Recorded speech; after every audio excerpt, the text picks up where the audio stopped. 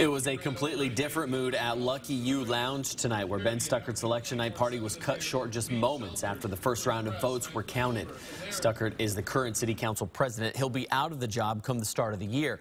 The news of his loss came as a shock to supporters who came out to celebrate him tonight.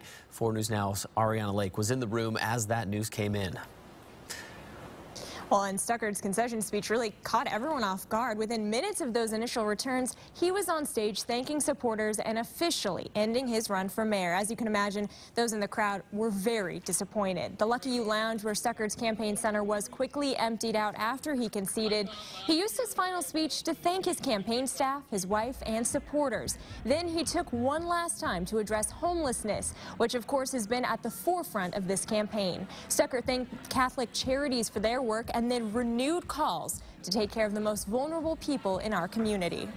We cannot fix everyone, but we damn well better try, and at the very least, we damn well better provide for every member of our community's basic needs. I spoke with one of the interns for the Stuckart campaign who tells me he looks forward to seeing what Stuckart does next in our city.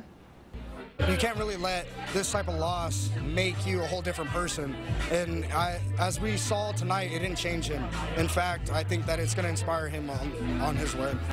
Well, I asked Stuckart what's next for him. He did not give any indication about what his plans are once his term ends on City Council. Live in studio, I'm Ariana Lake, 4 News Now.